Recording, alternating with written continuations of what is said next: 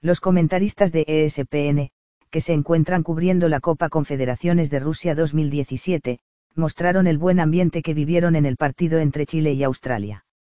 José Ramón Fernández, David Faitelson, Roberto Gómez Junco y Jorge Ramos, entre otros, estuvieron en el estadio en Kazán y compartieron imágenes a través de su cuenta de Twitter.